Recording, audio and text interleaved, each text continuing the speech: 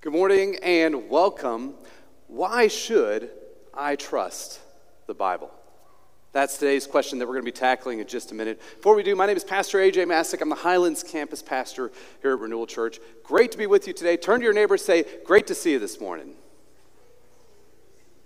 One, one great community this morning. Thanks for joining together as the body of Christ. We are a better community with each and every person here as a part of it, sharing their gifts and helping us all to go on that journey of following Jesus together. Why should I trust the Bible?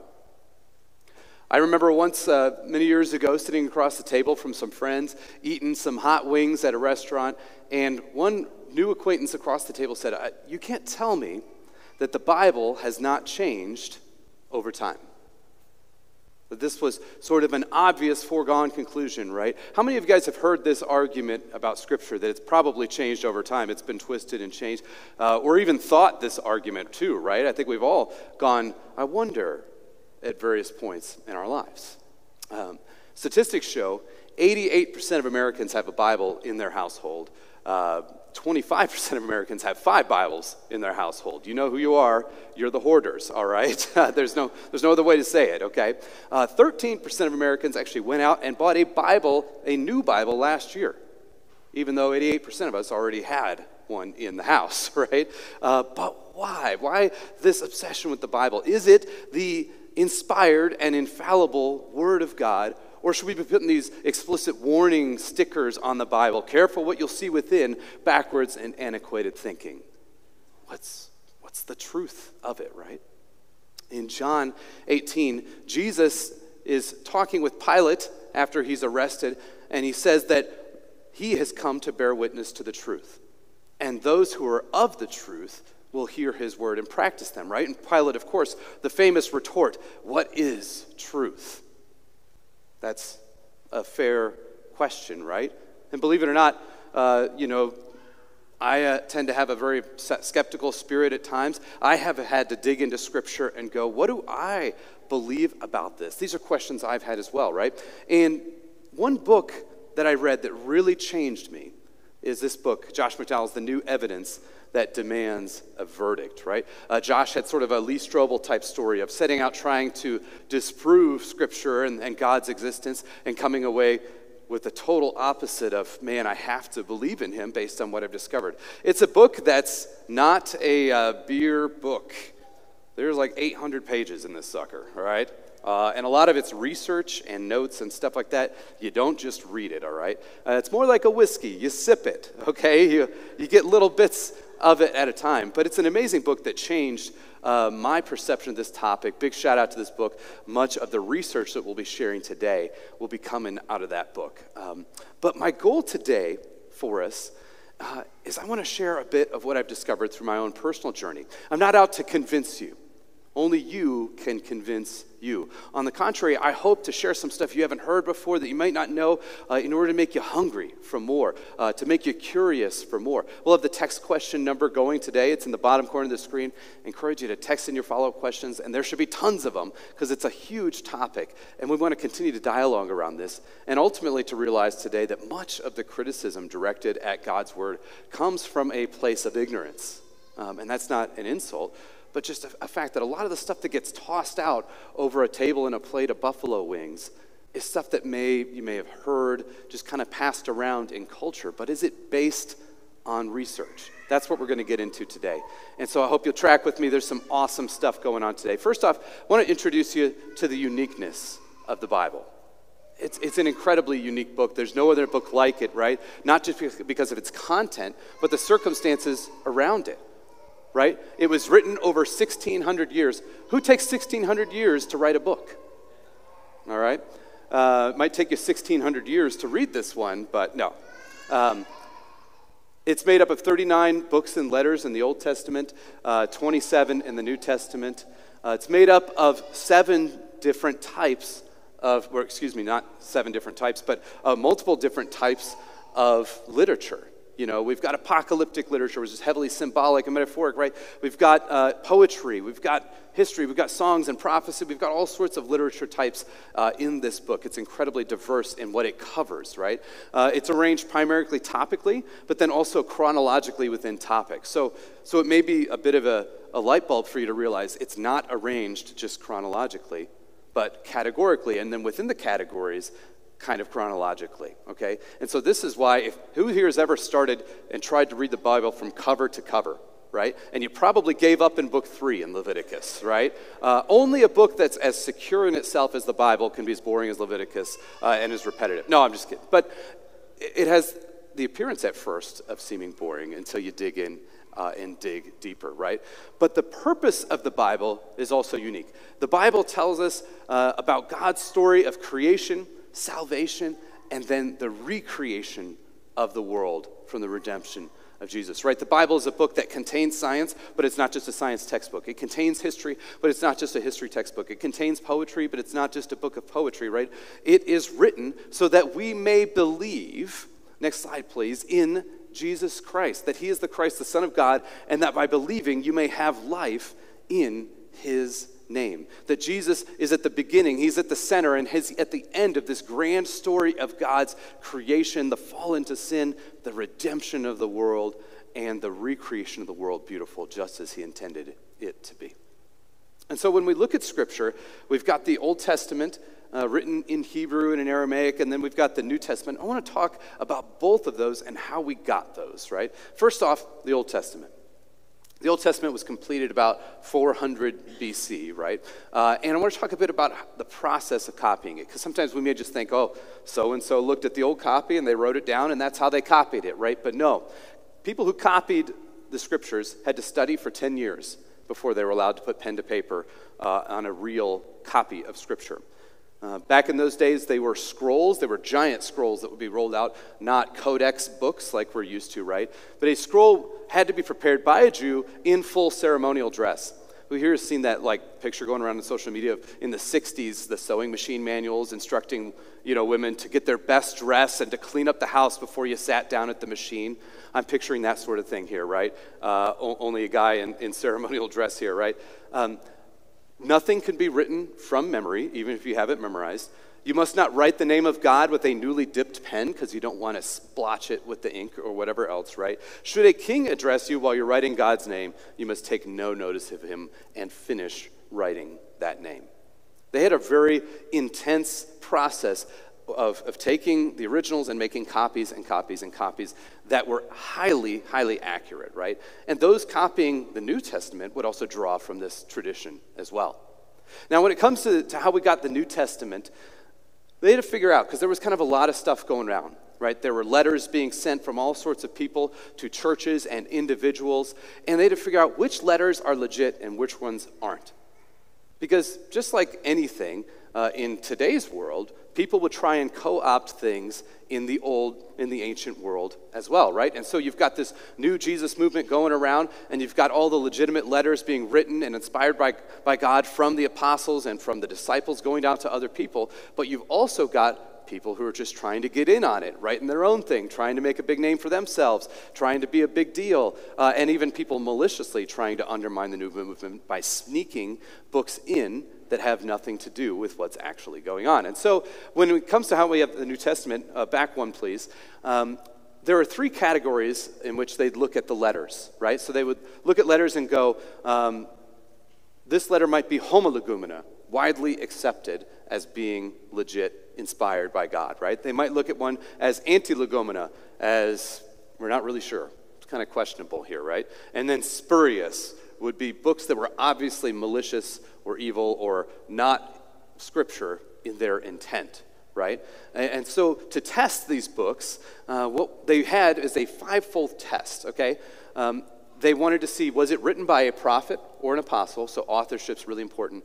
In fact, basically every book of Scripture, we know who wrote it, with the exception of the New Testament book of Hebrews, which was confirmed through other methods, so we'll get to that. Uh, does it have a scriptural quality, right? Does it obviously have a weight to it? Does it speak the truth? Is it consistent with the other scriptures, Old Testament and New, or is it contradictory, showing that it's not part of God's story? Uh, or was it confirmed elsewhere in Scripture? Right? So uh, Jesus confirms much of the Old Testament in his thoughts. He even uh, confirms for us that Moses wrote the first five books of the Old Testament. Um, and so they would use these tests to figure out is this thing a legit part of Scripture?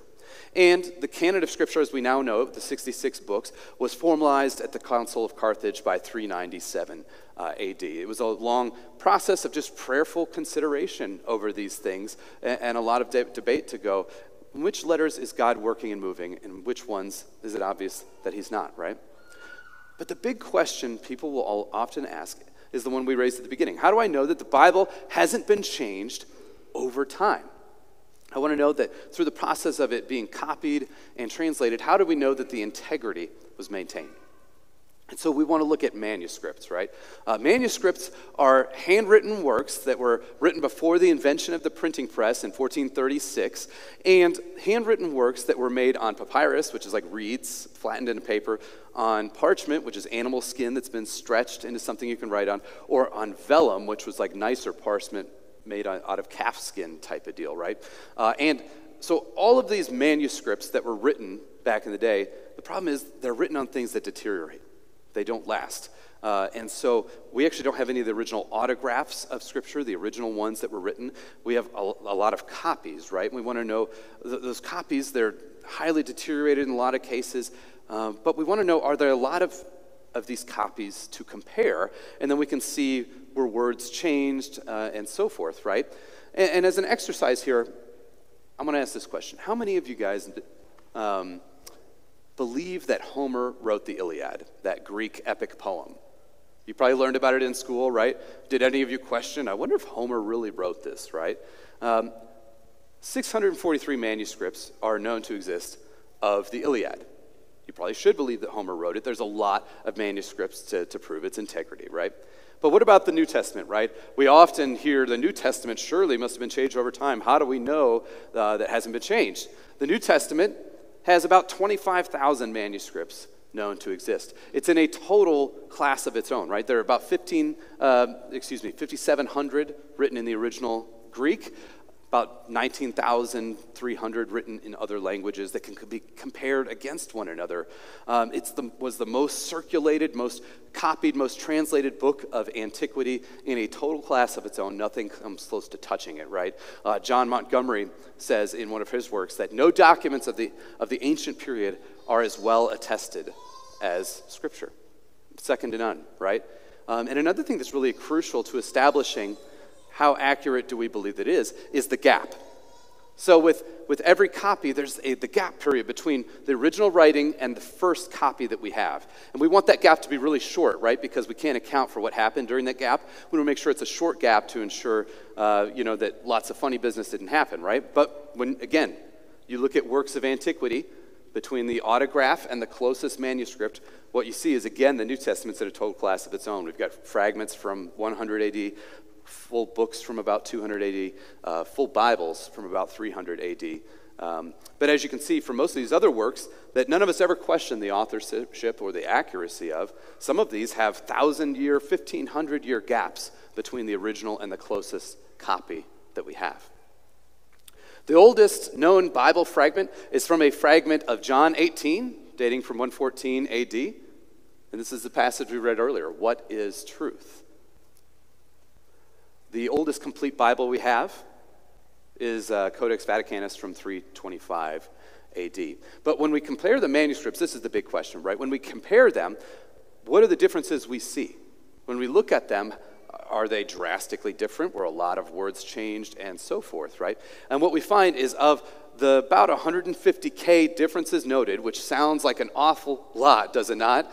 99% are spelling and penmanship differences. When they would comb through these things, they'd look and they'd look at if a letter was hooked differently, then that would be noted, right? Uh, they would went through all of these and they looked, and most differences can be left up to penmanship, uh, to a hook instead of a whatever, right? Uh, to spelling, that sort of deal. And here's the real life test, all right? So we want to know does it hold up under real life circumstances? Well, in 1946, 1947, two teenage shepherd boys stumbled upon would probably be the, the best, the most incredible archaeological discovery of the 20th century, which became known as the Dead Sea Scrolls. They discovered them in an area known as Qumran, which was occupied by a Jewish group called the Essenes from about 250 BC to 70 AD. And this Jewish group, like the Pharisees and Sadducees, they were kind of off on their own, though. They, they had their own thing going on. It, but they copied scriptures meticulously. Over 100,000 uh, different manuscripts were found in these caves, in jars that have been sitting there for like 1900 years, something like that, right? And we would want to know this is a great opportunity to look at those manuscripts that have sat undisturbed for 1900 years, compare them against what we have, and go, do they match up? Does what we have seem accurate? So, an example here from the book of Isaiah. Our prior oldest complete scroll was from 980 AD, and in the Qumran collection, there's one that dated to 125 BC. And so we've got about an 1100 year difference. This is a great test to go in this gap period where we couldn't account for it where lots of things changed. What we find is 95% accuracy, with the remaining 5% again being mostly penmanship and spelling. It even breaks it down here out of the 166 words. We've got 10 letters that are spelling difference, four stylistic changes. We have one word for light added and no effect on biblical teaching right? And so if you've ever wondered, is Scripture trustworthy? It is absolutely trustworthy. You can trust that the Scripture, the Bible that you have in your hands, is an accurate translation of the original autographs of Scripture. The, the Protestant reformers in the 16th century, they took up the mantra sola scriptura, which means scripture alone. It means scripture alone, the Word of God is the sole rule and norm of all doctrine, of all faith and practice. It's the thing that we base everything on. There's nothing else that exists that we can go to and say it's inspired, that it's infallible, that it's God given for us, and that we can trust it 100%, right? But manuscripts aside, there's even more reason to believe in Scripture. If you look at the content of Scripture, um, there are many reasons. Excuse me. Ancient historians can verify some of the events in the Bible. This is really cool. Uh, Thallus verified the supernatural darkness at the time of Jesus' death at his crucifixion. Darkness comes over the land. He calls an eclipse, right? Because they didn't know what, what else to call it, but no eclipse was scheduled during that time, right? Uh, just Josephus verifies that Jesus existed, did miracles, was crucified, so forth. A whole host of other historians like Justin Martyr, Irenaeus, Origen, Tertullian, Eusebius, all these people have quoted the New Testament extensively and verify some of the events in it right? Modern historians as well can verify some of the events in Scripture. This is really cool. Uh, in 2007, the British Museum discovered a receipt from nearly 600 BC. I had no idea they had receipts in 600 BC. Anyone else? Um, and it's like literally a rock. You know, I don't know if you were doing your taxes, be like, hold on, let me get my box of rocks. I'll be right back, right? You're not just going to carry those things around, I guess. But it's a receipt from 600 BC and it confirms the existence of Nebuchadnezzar, the chief eunuch of Nebuchadnezzar II of Babylon. He was otherwise only known to history in Jeremiah 39, and then Scripture unearths an actual artifact verifying his existence, verifying that Scripture was right all along. Uh, and if the Bible is right about small details, guys, this guy does not matter uh, to the overall thing, right? It does not matter. But if Scripture is right about the overall details like this, the small details, you can surmise that it can be trustworthy with some of the bigger ones as well, right? Scripture verifies some scientific knowledge before it was widely available, right? That the earth floats in space, uh, you know, that the earth is round, that there's one human race. Shockingly, for a long time, people believe there were multiple human races, right? Um, that there are springs in the ocean floor. Things like medical quarantine. Priests in the Old Testament served a, a medical function in helping quarantine sick people and keeping others free from being sick. Guys, we didn't even figure out you're supposed to wash your hands until like two centuries ago. Uh, and Scripture knew a bunch of this stuff. This one's really fascinating. Um, scripture, up until 1872, the Bible was the only place that you could learn about the Hittite civilization. It was otherwise unknown to history, archaeology, uh, you know, all this stuff. And it's, the Hittite civilization had sort of a myth around it because it was only known from the Bible. And then, yet, starting in 1872, uh, archaeologists uh, started you know, raising up a whole host, a trove of artifacts proving that the Hittite civilization existed. And not only existed, was one of the most dominant force in its area. And so, Scripture, in some cases, is well ahead of where scientific knowledge of the time is. Also, Scripture has authors that seem trustworthy, right? Um, they claim to be eyewitnesses, right? They didn't claim, you know, that this is something that was just revealed to them miraculously or something crazy. They, they claim to see it with their own eyes. It wasn't just passed along from someone else. Um, scripture records that Jesus appeared to over 500 people at, at one point after he was resurrected. Um, they claim to be inspired by God, right? They wrote embarrassing things about himself, right? John writes that when Jesus was arrested, uh, he didn't stay and fight. And in fact, he fled, and someone grabbed his cloak, and so he shed it, and he just ran away naked, right? Um, there are so many times throughout scriptures that, that the apostles write things about themselves that are super embarrassing about how they were arguing about things that they never should have been arguing about uh, about how they were they were just being dummies. I mean, this stuff is all throughout Scripture. They didn't hesitate to write it because they're not in it to make money. They're not in it to make a name for themselves, like people writing some of those spurious books, right? Uh, they clearly did not collaborate their stories. If you look at the gospel accounts, while Matthew and Mark have a lot of overlap, there's a big difference in how Matthew and, and Mark and Luke and John approach their gospel accounts of Jesus' life, right? They're comfortable enough uh, in the reality of it to approach those from a different perspective, right? Uh, Matthew, you know, and Mark write a, a certain chronology uh, from sort of a, a, Jew and Roman to a Jew and Roman audience, respectively. Um, you've got Luke, who sets out to write a, a detailed history. And then you've got John, who's like, I'm going to introduce you to this guy. He's an amazing guy. His name is Jesus. And sometimes John even goes out of order. He's so excited to tell you about who Jesus is. He, he, goes out of chronological order just to tell you about stuff that Jesus did and how amazing that he was, right? Uh, and, and aside from all of this, the spread of the gospel worldwide is a testament to the belief that something powerful had happened here, that these writers believed it for themselves, uh, and that someone powerful was behind what was going on.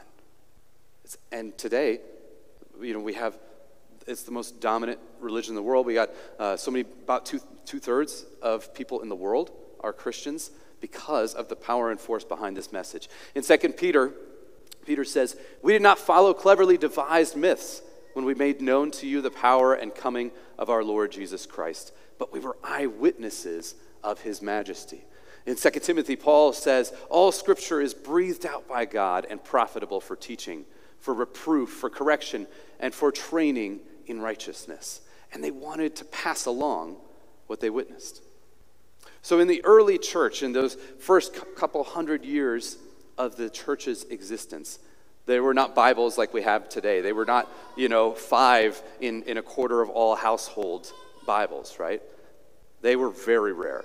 The letters of Scripture uh, on scrolls that were passed around from one church to one church to one church. Um, and the churches would gather Whenever a scroll came through, your bishop or pastor might spread the word hey, we've got a scroll of scripture. We got a scroll of Second Timothy, right? Everyone gather at the house church tonight. They didn't have dedicated church, but they would gather at somebody's home. And then they would take that scroll, they would read it, they would commit as much of it to memory as possible because the next morning they might have to pass it along to another church. And they would commit as much of it up here as they possibly could, pass it forward today. They would cherish it. They would place it deep within their hearts and their souls.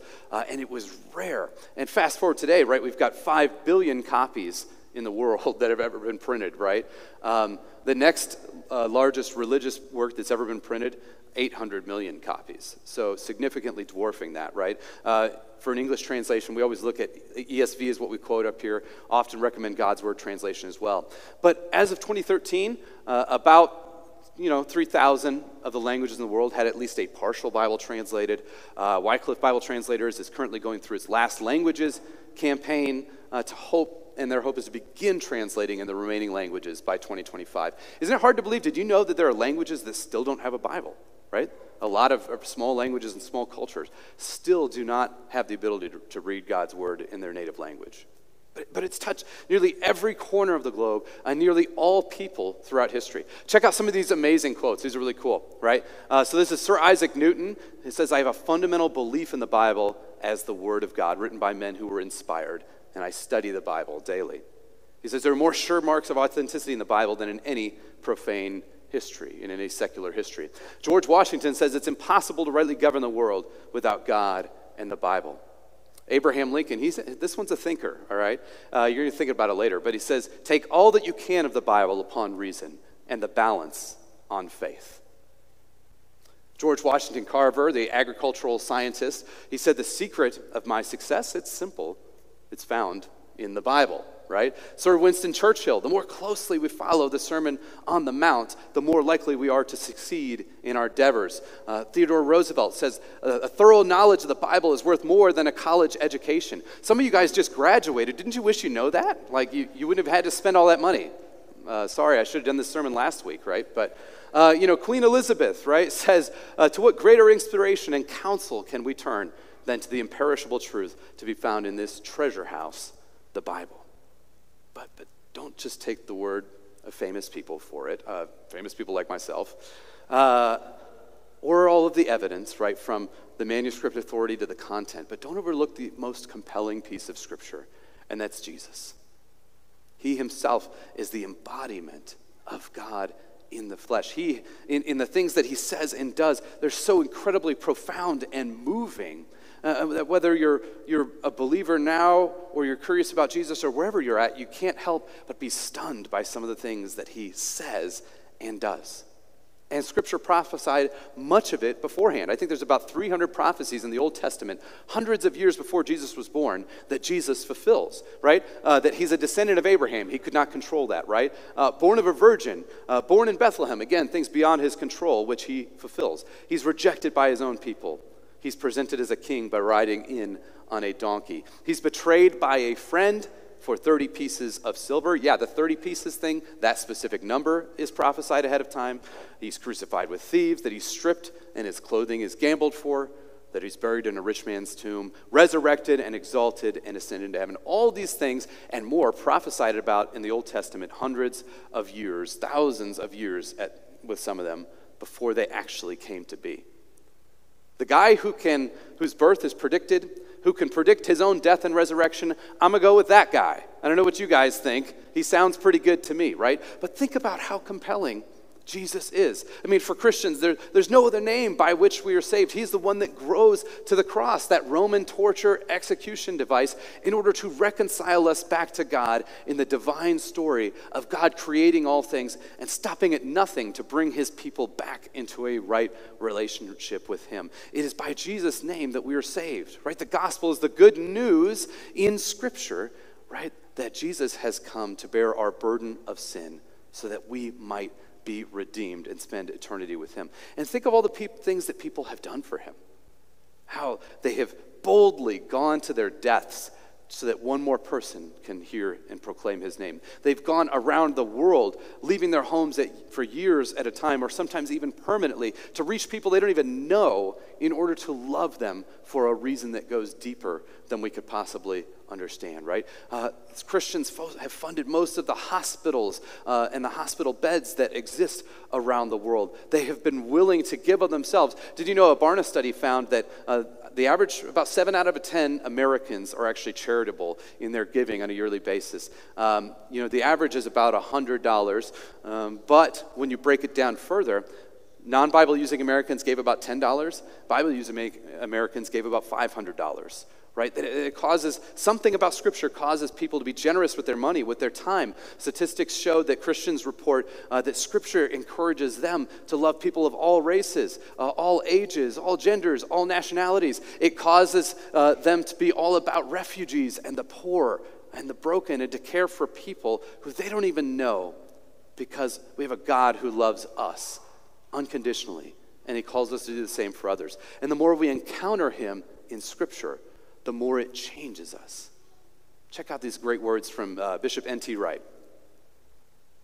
I had an email just uh, early this morning from somebody wanting to um, take his study of Paul's theology to, to the next stage, as it were, somebody's sort of master's degree level, asking me where it was all going, what should be about. And I'm afraid I gave him the, the same old fashioned advice that I give to everybody. You just have to soak yourself in the scripture much more than you'd ever imagine doing, preferably in the original languages. And you have to soak yourself in prayer and you have to listen hard to the cries of pain that are coming, whether from your next door neighbor or from people on the other side of the world. Uh, Jesus himself uh, and the New Testament itself teach us that the way we get to know who we are and where we're called to be is through Scripture, through prayer, through the sacraments, Jesus Himself constituting these as the way of life for God's people, baptism and the Lord's Supper particularly. Um, but then also the cry of the poor. In Matthew 25, Jesus tells us that's where we will actually meet Him without even realizing we're doing so. And it seems to me that in each generation, there is no formula, there is no, hey, this is the book you should read and then it'll all be all right. Because God wants to do new things, but the people through whom He will do those new things are people who are Bible people, prayer people, sacrament people, and listening to the poor people. And somehow Jesus will come afresh to them and please God through them in ways that we can't at the moment imagine or predict, let alone control. I love that.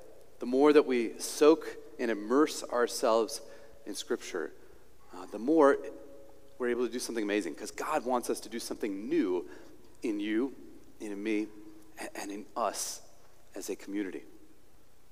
We, it says on our website, and we more than just have it on there, we believe it. We practice and uphold the ancient truths of the faith expressed in a modern way as we seek to make a difference in our community.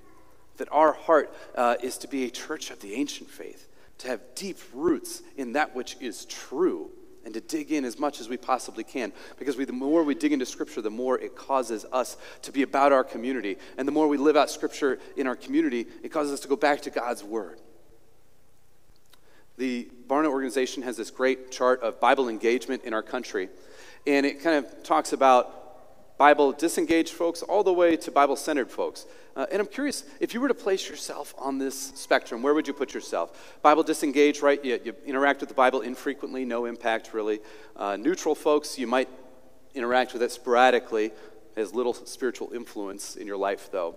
Bible friendly people interact with it consistently, and it may be a source of spiritual insight. Bible engaged, it's frequently, uh, and it is transforming their relationships. Bible centered people, it's also tr- shaping our choices, right? Uh, that our heart is to be a people who are engaged with God's life giving word. Jesus says, I've come they may have life and have it to the full. And that message that he gives us of what it means to live life to the full, that comes from us in Scripture. And the question for us this week is how can we go from being Bible disengaged or from wherever we happen to find ourselves and take a step toward being Bible centered?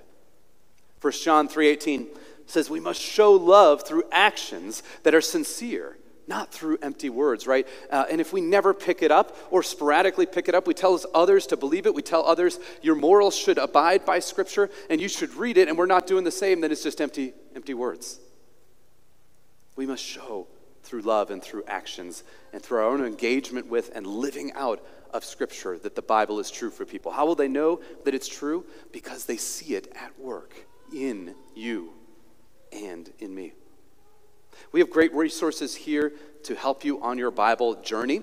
You can get a free Bible in the, the uh, Welcome Center in the, the coffee lounge or in the, the lobby if you want to grab one. We also have these life journals. Uh, we have free life journal reading plans, uh, again, next to the Bibles. We have these uh, for six bucks. You can get one of these spiral journals at the renewal store. Uh, this is a phenomenal reading plan that many of us go through together uh, so that when we gather for our life groups and so on, we can go, hey, in your reading today, did you read that thing? What did you think of that? Or was that weird? Or, or was it just me? Or whatever else, right? Uh, the Life Journal reading plan is a great opportunity to get into God's Word, and you do not have to do the journaling component if that's not something that's valuable to you. But I encourage you to grab a reading plan if you're not going through something currently. We also have our Scripture on the Go podcast, uh, which we, we post um, you know, weekly or every other week, these podcasts around the reading plan. And this season has been so much fun, guys. We've been digging into passages that we intentionally are identifying which passages in t- today's readings are likely to be the most difficult and most confusing. And we've been digging into those on the podcast, which has been a ton of fun. And so I encourage you to get the podcast on your Renewal Church Denver app uh, or check it out online at scriptureonthego.org, wherever you get your podcasts. Um, and you can also read the Bible in the app as well. What's really cool is in that Renewal Church Denver app, you go to the Bible tab, the uh, the Life Journal Bible reading plan is actually queued up for you in the app, and you can follow along. You can make it read to you. So, um, we want to be getting into Scripture. Another great way to get into Scripture is through the Abide app. We have a, a, a, new member who is on the team for the Abide app, and that's another great way that you can help have meditations read or spoken to you that will help you meditate around God's word and really soak it in. Uh, you know, get, get totally soaked with it uh, in order that it might shape us in mind and body and spirit. Everyone then who hears these words of mine and does them will be like a wise man who built his house on the rock. This is Jesus' encouragement to us. Why should we trust the Bible?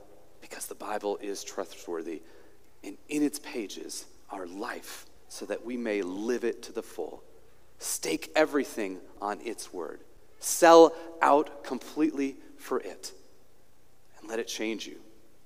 Let it, uh, through immersion in it, let it soak not just our minds, but also our deeds and everything that we do in Scripture that we may be the people of God, people of hope, people who have staked it not on nebulous claims, but on the rock, on Jesus himself.